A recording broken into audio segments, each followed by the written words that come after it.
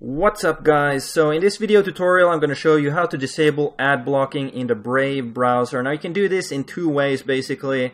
The first way is uh, by site, so for example only for youtube.com and the second way is by disabling it by default so that every site that you visit has ad blocking disabled by default.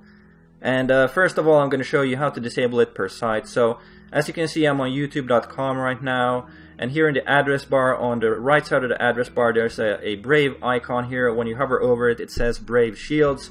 So you just want to click on that, left click on that. You can see that shields are up for this site. So if I click here it's going to disable all the ad blocking, tracker blocking, cookie blocking, fingerprinting blocking, just everything that's here is going to be disabled for youtube.com. But if I only want to disable tracker and ad blocking, I can click here where it says trackers and ads blocked standard. You just click on the drop down menu and select allow all trackers and ads and that'll just disable ad blocking for that site. Now if you want to disable it by default for every site then go to the hamburger menu on the top right here, click on that and then go down to settings.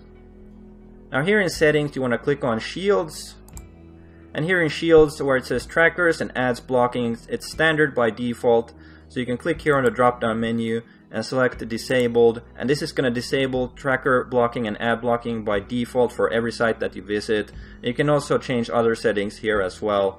But that's basically how you do it. That's how you disable ad block in the Brave browser. And if this tutorial was helpful, please leave a like and subscribe to my channel. It really helps me out. And I'll see you guys in the next video.